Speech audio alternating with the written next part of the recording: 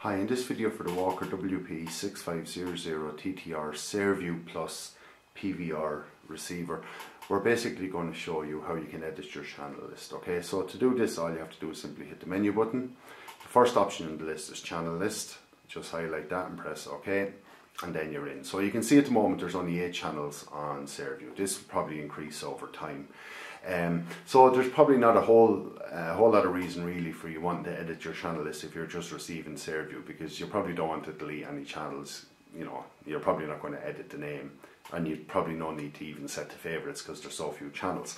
But where it might come into its own is if you were along the border with Northern Ireland or indeed in Northern Ireland and you were trying to combine uh, Saorview and Freeview HD uh, using this box, which you can because it has a T2 tuner um, then your channel list will be greatly increased and then at, in that case then you certainly may want to set some favorites or edit the name of channels or certainly you could want to delete some rubbish channels that you may be pulling in something like this okay?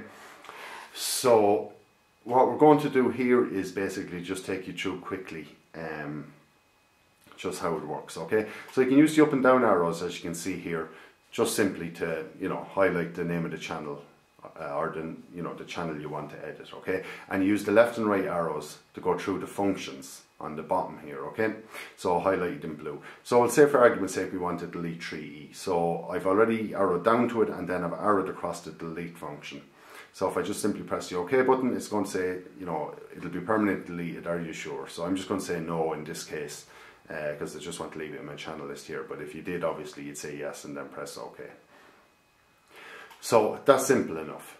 The next thing then is a little trickier, um, but still fairly easy anyways, to edit the name. Now, you may or you may not want to do this, but this is just basically how you do it. So I've selected 3E again, I'm on the edit name function and I press the OK button. So you can see here there's a little box around each letter and how this works is use the left and right arrow to go to the letter you want to change and then you use the number keys on your um, remote control and they operate like an old style phone you know, like um, there's letters basically attached to each uh, to each number, and they're actually on the remote control. So we'll say, for instance, I'm going to call this B BE, and that'd be it. And then just press OK, and now it's called BE. But I'm just going to go back there and rename it to 3E. So it's fairly simple you know, you may want to do it, you may not, but that's just basically how we do it. And the favourites works like this. If you are over to favourites, what it'll do is it'll give you the entire list of channels and then you can just name the ones you want to call as favourites. So I'm just going to call RTE1, 2 and TV3 as um, my, favourite channels, okay?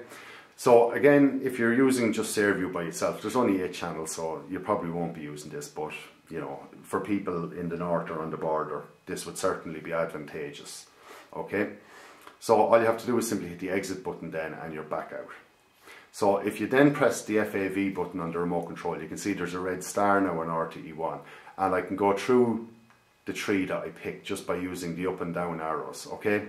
Now the interesting thing about this, and this is going to catch people out, I'd imagine, is if you press the OK button to bring up a channel list, it only shows three channels, and you might be wondering, oh, well, how am I going to get back uh, to my normal list? Well, all you have to do is simply press the FAV button again,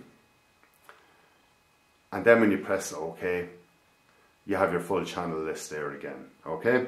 So, and if you press FAV again, what it does is it just gives you your favorite channel list. So that's basically it. Um, doesn't seem to be a way of organizing them, let's say, into, you know, sorting them into favorite groups, as in, you know, music, uh, news, you know, things like that. Again, this won't be an issue for Saorview, but you know, for uh, for Freeview HD, it may it may be. So um, that's just basically to show you the general gist of it there. So that's basically it, how you can edit your channel list on the Walker WP6500 TTR Saorview Plus PVR receiver.